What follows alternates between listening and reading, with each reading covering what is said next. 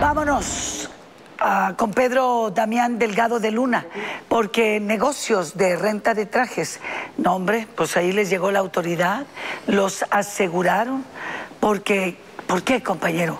Están relacionados con el delito de robo de mercancía, Pedro. ¿Es cierto esto? ¿Quién denunció? Bueno, nunca se sabe quién denuncia, pero bueno, adelante. Así es, licenciada, muy buenas tardes. Al menos cuatro de estos establecimientos dedicados a la renta de trajes fueron asegurados por parte de las autoridades luego de estar implicados en algunas irregularidades, sobre todo en el robo de mercancía, esto luego de una denuncia.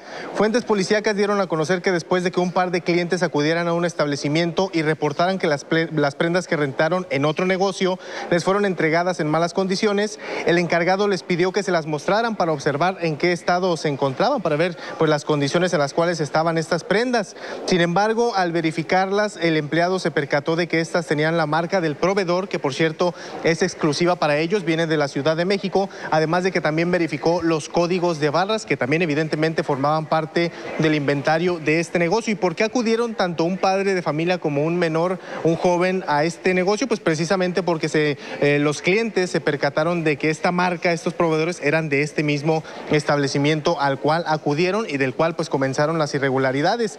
Posteriormente, al verificar en el sistema del negocio al que acudieron los clientes, el encargado se percató de que el último registro de prendas, de estas prendas, eran del 20 de abril del año 2020. Es decir, no se comercializaban en este establecimiento hasta hace un año.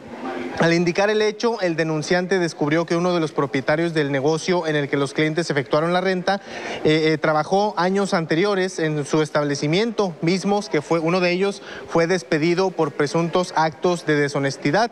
Luego de interponer la denuncia, las autoridades aseguraron 497 prendas de algunos establecimientos que están ubicados, ya vemos algunos de ellos en estas imágenes de mi compañero Eduardo Huerta, uno en el área de Cumbres, otro más en el área de Lindavista, en el municipio también de San Nicolás y por último también un establecimiento ubicado en el sur de la ciudad, específicamente en una plaza comercial de la avenida Eugenio Garza Sada. De ahí pues parten estas, esta mercancía que observamos también en las imágenes que fue asegurada por parte de las autoridades. Hasta el momento no se ha informado, al menos de manera oficial, si hay algunos detenidos, si hay personas que estaban trabajando en estos establecimientos que fueron detenidas para su posterior investigación. Lo cierto es que aseguraron cuatro de estos establecimientos que pues contenían una gran cantidad de prendas, tanto de sacos, pantalones, incluso cintos, que evidentemente provenían de actos irregularidades. No se ha informado tampoco qué avances hay en cuanto a la investigación, solamente se sabe de un implicado que trabajó en el negocio al que fueron los clientes y de ahí partió la denuncia posterior a las autoridades correspondientes que acudieron a asegurar este tipo de negocios. Así la situación, cuatro de estos negocios que ya pues al menos continúan en el proceso de investigación para deslindar responsabilidades y sobre todo también para saber cuál es el monto de lo robado y cuál fue la manera en que una cantidad tan importante de mercancía fue a parar a los otros negocios en los cuales pues finalmente eh, se realizó la denuncia. Así la situación en estos cuatro puntos del área metropolitana de Monterrey. Qué importante es tener empleados o gente honesta, ¿verdad? Y este sujeto pues pensó que nunca se iba a descubrir. No, hombre, nada dura oculto, nada. Pero se tardó mucho tiempo, compañero, el dueño para poner la denuncia.